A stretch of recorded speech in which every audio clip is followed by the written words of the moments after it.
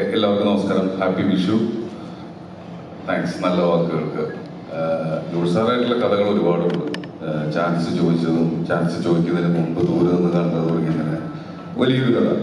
എന്തായാലും എന്റെ ജീവിതത്തിൽ അതിന് ഇപ്പുറം ഏറ്റവും അടുത്ത സാഹചര്യത്തിൽ ചിന്തിച്ച് കഴിഞ്ഞാൽ ജോസഫ് എന്നുള്ള സിനിമ ഇറങ്ങുന്നതിന് മുമ്പ് അതിന്റെ പോസ്റ്റർ കണ്ടിട്ടാണ് എന്നെ പൊളിഞ്ചിലോട്ട് സാറ് കാണാൻ വിളിക്കുന്നത്.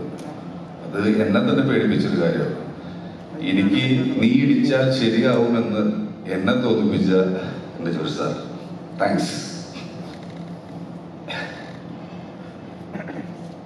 ഇപ്പോഴുള്ള സോ സംസാരിച്ചില്ല ഇമോഷണൽ ഇല്ല ഓക്കെ കുറച്ച് പറയാം. താങ്ക് യു ഞങ്ങൾക്ക് മനസ്സിലാവും. തീർച്ചയായിട്ടും വളരെ ഇമോഷണൽ ആയിട്ടുള്ള ഒരു നിമിഷം തന്നെയാണിത്. സോ മൂവിംഗ് ഓൺ ഇനി വേദിയിലേക്ക് സ്വാഗതം ചെയ്യുന്ന ജോസിനെയാണ് വിനോദ് ജോസ്. അങ്കമാലിക്കാരൻ അങ്കമാലി ഡയറീസിലെ സ്ക്രീൻ റൈറ്റർ വീണ്ടും കുരിഞ്ചും മറിയവും ജോസും ജോഷി സാറും ഒരുമിക്കുകയാണ് എന്ന് തോന്നി.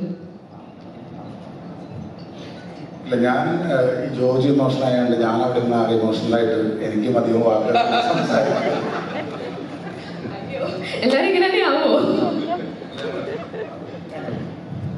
അല്ല ചെമ്പം കാരണം ഞാൻ അഭിനയിക്കുന്നവരുടെ കൂട്ടത്തിൽ എന്റെ ഏറ്റവും കംഫർട്ടബിൾ ആയിട്ടുള്ള ഒരു ആക്ടറാണ് ചെമ്പൻ. അത് ഞങ്ങൾ തമ്മിലുള്ള സൗഹൃദമായിരിക്കും ഭയങ്കര റിഹേഴ്സൽ പോലില്ലാതെ ഞങ്ങൾ സീനുകൾ അഭിനയിക്കും. ഇപ്പൊ സാഞ്ഞാന്റെ പടത്തിൽ നമ്മളുടെ ഒരു മൂന്ന് മിനിറ്റ് നീളുന്ന ഒരു സിംഗിൾ ഷോട്ടിൽ ഞങ്ങൾ ഒറ്റ ടേക്ക് തന്നെ ചെയ്തു. അത് ഞങ്ങൾ തമ്മിലൊരു സൗഹൃദമാണ്. അപ്പൊ അതുകൊണ്ട് തന്നെ അവൻ അടുത്ത് ആ ഇനി സംസാരിക്കാൻ സംസാരിക്കാന്നായി അപ്പൊ പറഞ്ഞു വന്നത് അങ്ങനെ എന്നെ പൊറിഞ്ചൂൽ കാസ്റ്റ് ചെയ്തു. എനിക്ക് വേറൊരു ലൈഫ് വേറെ ഇങ്ങനെയൊക്കെയും കൂടി അഭിനയിക്കാമെന്നുള്ളതിന്റെ വേറൊരു തലം കാണിച്ചത് സാറാണ്. അതിലും ഇനി അങ്ങനെ ഒരു സിനിമ ആഗ്രഹിക്കുന്നതിന് അത് ഹെൽപ്പറ്റായി പോകും പക്ഷേ കാരണം മൈല പറഞ്ഞ പോലെ എന്റെയും ഷോളയാണ് പൊറിച്ചു എന്നുള്ളത്.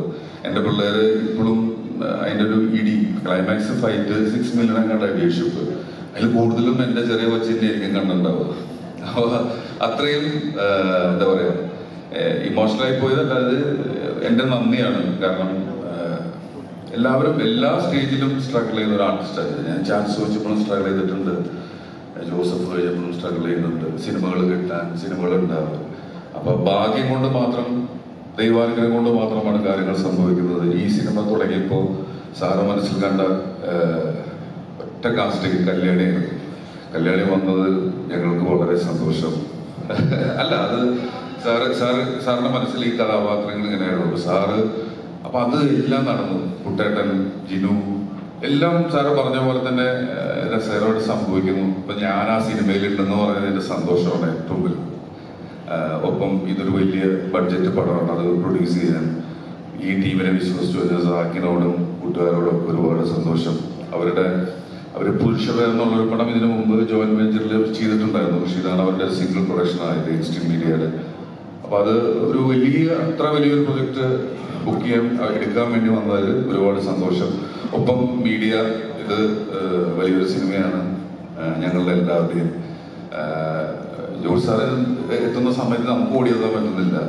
അപ്പോൾ സാറിന്റെ ഒപ്പം നിങ്ങൾ നിന്ന് ഞങ്ങളും ഒരു പിടുത്തം പിടിക്കും അല്ലേ? അത് അത് പിടിക്കും അത് ഉറപ്പാണ്. അപ്പോൾ thank you so much sir ഒരിക്കൽ കൂടി നന്ദി. വന്ന എല്ലാവരോടും ഒരുപാട് സന്തോഷം അടുത്ത പരിപാടിയിലോട്ട് കിടക്കാം. താങ്ക് യു ജോഷ് ചേട്ടാ. അപ്പം ഈ ഒരു വിന്നിംഗ് ടീമിനെ വീണ്ടും ഒരുപാട് ഒരുപാട് സന്തോഷവും അഭിമാനവും തോന്നുന്ന നിമിഷമാണിത്. കാരണം നമുക്ക് ജീവിതത്തിൽ ഒരുപാട് കൂട്ടുകാരുണ്ടാകും. ആ കൂട്ടുകാരൊക്കെ ഓരോ കാലഘട്ടത്തിൽ നമ്മൾ പല പല കൂട്ടുകാരും മാറി മാറി മാറി പോകും. പക്ഷെ എന്റെ ഏറ്റവും പഴക്കമുള്ള ഇന്നും ഏറ്റവും അടുപ്പമുള്ള ഒരു കൂട്ടുകാരനാണ് ജോഷി. ഞങ്ങൾ ഒന്നിച്ച് പഠിച്ചതാണ്. ഞാൻ ഇന്നും പറഞ്ഞ ഏറ്റവും കൂടുതൽ സിനിമയിൽ അഭിനയിച്ചിട്ടുള്ളത് ജോഷിയുടെ സിനിമയിലാണ്. ഞങ്ങൾ പ്രീ ഡിഗ്രിക്ക് ചേർത്തല എസ് എൻ കോളേജ് ഒന്നിച്ച് പഠിച്ചു. അതിനു മുമ്പും പരിചയമുണ്ട്. അദ്ദേഹത്തിന് ഒരു രണ്ട് മൂന്ന് തിയേറ്റർ ഉണ്ടായത് വർക്കലയിൽ. അവിടെ ഞാൻ നാടകം കളിച്ചിട്ടുണ്ട്. അന്നും പരിചയമുണ്ട്. അത് മാത്രമല്ല വേറെ അത്ഭുതം. ഞാൻ ആദ്യമായിട്ട് അഭിനയിക്കുന്ന അൻപത് വർഷം മുൻപ് എന്റെ അച്ഛൻ എഴുതിയ നാടകം കാവാലിയ സിനിമയായി. അതിലാണ് ഞാൻ അഭിനയിക്കുന്നത്. ആ സിനിമയിലാണ് ജോഷി ആദ്യമായിട്ട് ഡയറക്ടറായിട്ട് വരുന്നത് അസിസ്റ്റന്റ് ഡയറക്ടറായിട്ട്. അന്ന് മുതൽ ഞങ്ങൾ രണ്ടുപേരും സിനിമയിൽ സിനിമ കൊണ്ടാണ് ജീവിക്കുന്നത്. ഇന്ന് ഈ നിമിഷം വരെ. ഞാൻ ആദ്യം ഈ എഴുപത്തി മൂന്നിൽ ആയിരത്തി തൊള്ളായിരത്തി എഴുപത്തി മൂന്നിലാണ് ഈ കവാലിയ ഇപ്പോൾ അൻപത് വർഷമായി ഇപ്പം ഞങ്ങളുടെ കൂട്ടുകാരുടെ സിനിമയിൽ മാത്രം അൻപത് വർഷമാകുകയാണ് ആ ഒരു നിമിഷമാണ് മാത്രമല്ല എനിക്ക് ഒരു നടനെന്നുള്ള നിലയിൽ വളരെ വ്യത്യസ്തമായ വേഷം. അതായത് ഞാൻ ഒരു ഫുൾ ടൈം സിനിമക്കാരനായത് ശരിക്കും ന്യൂഡൽഹി എന്ന സിനിമ പോലാണ്. അതിപ്പോൾ എയ്റ്റി ത്രീയിലാണ് സുഗമയിട്ട കണ്ണുകൾ എന്ന സിനിമയിൽ ഞാൻ നായകനൊക്കെ അഭിനയിക്കുന്നത് ആ സിനിമ മോശമായി പോയി. സിനിമയിൽ അങ്ങനെയാണല്ലോ മോശമാക്കാൻ ഞാൻ അനുവദിക്കില്ല അങ്ങനെ. പിന്നെ ചെറിയ ചെറിയ വേഷങ്ങളൊക്കെ അഭിനയിച്ചു. അങ്ങനെയാണ് ന്യൂഡൽഹി ജോഷിയുടെ സിനിമയിൽ അഭിനയിക്കുന്നത്. അതൊരു പിന്നീട് ഞാൻ തിരിഞ്ഞു നോക്കിയിട്ടില്ല. പിന്നീട് ഞാൻ മലയാള സിനിമയുടെ ഒരു ഭാഗമായി ഈ നിമിഷം വരെ. ഈ കാലഘട്ടത്തിൽ ഞാൻ ഏറ്റവും കൂടുതൽ സിനിമയിൽ അഭിനയിച്ച ജോഷിയുടെ സിനിമയിൽ ഒരു പതിനഞ്ച് പതിനാറ് സിനിമയിൽ അഭിനയിച്ചിട്ടുണ്ട്. വളരെ വ്യത്യസ്തമായ വേഷങ്ങളുണ്ട്. ഏത് ചില വേഷങ്ങളൊക്കെ വന്നു ഞാൻ ചോദിക്കുന്നു ഞാൻ ആ നീ നീ ചെയ്യ്, നീ- എന്തൊക്കെ ചെയ്യാം എന്തൊക്കെ ചെയ്യാം? എന്ന് പറഞ്ഞ് എന്നെ ധൈര്യപൂർവം ആ വേഷം ഏൽപ്പിക്കുന്നു. അതൊക്കെ വലിയ അഭിമാനമല്ലേ?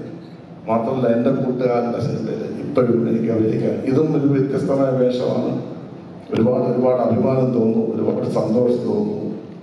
താങ്ക് യു നടിമാരെ ആലോചിക്കുകയാണെങ്കിൽ ഇപ്പോ നമ്മുടെ മനസ്സിലേക്ക് വേഗം ഓടി വരുന്ന ഒരു മുഖമുണ്ട്. ദൃശ്യത്തിലെ ഗീത ഐ പി എസിനെ ആർക്കെങ്കിലും മറക്കാൻ പറ്റുമോ?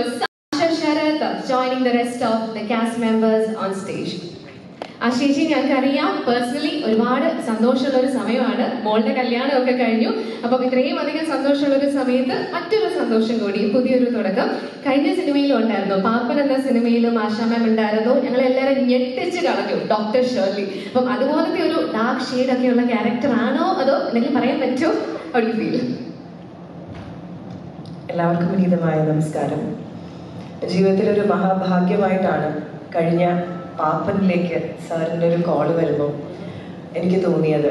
ഞാൻ ജോഷ് സാറിന്റെ എല്ലാ സിനിമകളും കണ്ട് ഒരു ആക്ഷൻ കണ്ടിൽ ഒരു ചെറിയ സീനാണെങ്കിലും അഭിനയിക്കണമെന്ന് ആഗ്രഹിച്ചിരുന്ന ഒരു അഭിനേത്രിയാണ്. അതിൽ വളരെ പവർഫുൾ ആയിട്ടുള്ള റോളായിരുന്നു പാപ്പനിൽ ഷെർലി സോമസുന്ദരൻ ഡോക്ടർ ഷെർലി.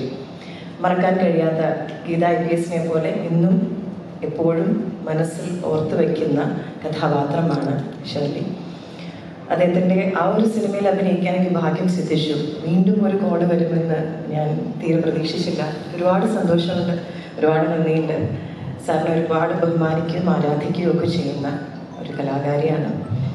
ഇവരെല്ലാവരും എന്റെ ഗുരുതുല്യരും സുഹൃത്തുക്കളൊക്കെയാണ് ഞങ്ങൾ ഒരുമിച്ച് അഭിനയിച്ചവരുണ്ട്. കുട്ടികളോട് അഭിനയിച്ചിട്ടില്ല. അങ്ങനെ ഒരുപാട് പേരോട് അഭിനയിക്കണമെന്ന് ആഗ്രഹിച്ചിരുന്ന ഒരാളാണ്. അപ്പോൾ ഇങ്ങനൊരു ചിത്രത്തിൽ ഇവർ ഭാഗമാകാൻ കഴിഞ്ഞതിലുള്ള സന്തോഷം അറിയിക്കുന്നു. കഥാപാത്രം എന്താണെന്ന് പറഞ്ഞാൽ സാർ എന്നെ ഓടിക്കും. ഒരുപാട് സന്തോഷം. കേട്ടോ. Thank you so much thank you